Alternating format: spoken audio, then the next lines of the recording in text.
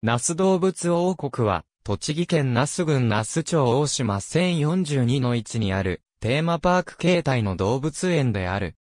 那須地域のテーマパークとしては、後発となる1998年4月に、マウントジーンズスキーリゾートナスを経営する丸紅と、ナス町ら出資する、第三セクターの株式会社ナス高原リゾート開発によって開国。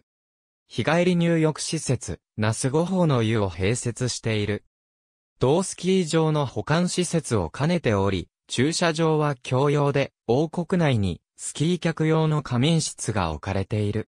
福島県白河市と接する栃木県北端の那須、五宝の東京ドーム約10倍の敷地に、アーケード型の王国タウンと、牧場形態の王国ファームに分かれて500頭以上の動物を飼育している。主に草食動物や小型動物、鳥類などを飼育、展示しているのが特徴。開園以来長らく猛獣は展示されていなかったが、2018年3月24日に、全天候型屋内施設、ウェットランドがオープンした際、ジャガーが、初めての猛獣として展示されることになった。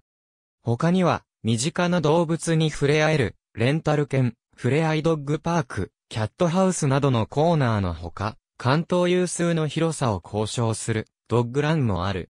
旅行ガイドブックでは、那須高原の主要な観光施設として紹介されている。もともとは、丸紅の新規事業として、ムツゴロウ動物王国を展開していた、畑正則監修のもと、犬と猫の展示を主体とした、人間と動物の自然な関係を掲げる、テーマパークとして開国。開国当初は、関東広域圏で CM が出稿されていた。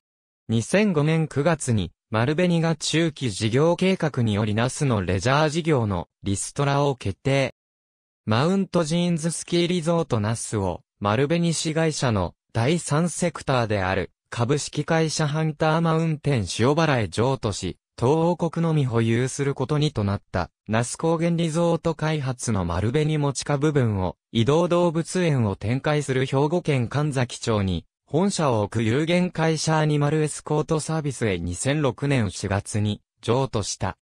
親会社の移動に伴い畑正則との関係を、立ってからは、カピバラなどの小動物や、オットセイなどの水生動物の展示を始めたり、近接の福島県で CM を出港し、東北地方からの集客を図るなどリニューアルしている。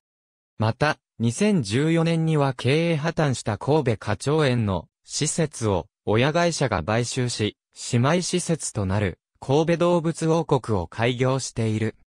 近隣には設立母体が同じマウントジーンズスキーリゾートナスのほか、ナスアルパカ牧場、ナスサファリパーク、ナスワールドモンキーパークといった動物園、ナスフラワーパーク、ナス平成の森といった自然園がある。バードパフォーマンスショー。このほか、季節や動物によって特別イベントが組まれることもある。公式サイト総合案内入場料金を参照。ありがとうございます。